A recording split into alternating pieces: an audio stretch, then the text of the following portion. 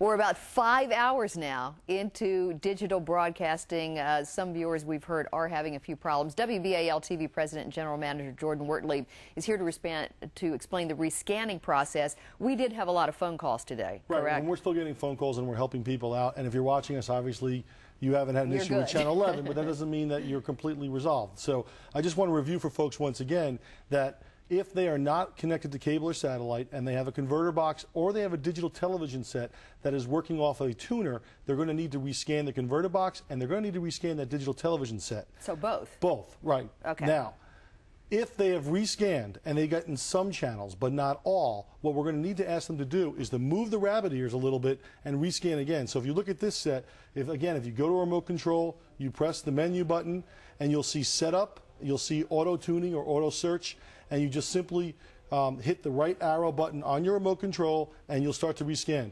If you've if you have not gotten all of the channels, you may need to move the rabbit ears again and try again. And if that does not work after a few times, you may need a better uh, rabbit ears or you may need a rooftop antenna. Okay. Um, I I actually am interested in this because I have a television at home that is also one of the plug-in models, and I haven't got a converter box and I haven't done any of those things. And, and my understanding from home is one of the sets in our house, which has a rabbit ears, Right. we're, still playing with and may need to put a new rabbit ears on.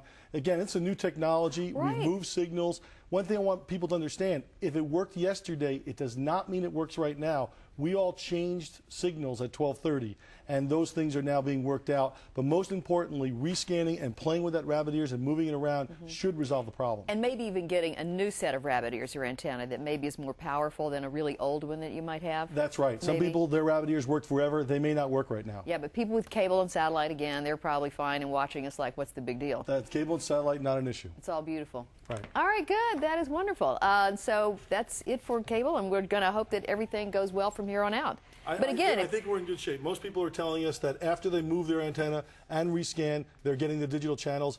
Uh, one woman in, uh, in Baltimore told us she could not believe she got 20 channels now. So it's, it's That going is well. good. That's great. Well, for more information on today's switchover, or if you still need help with that converter box, here are two numbers on your screen that you can call. They're 1 888 call FCC or 1 877 6808. You can also log on to our website, WBALTV.com.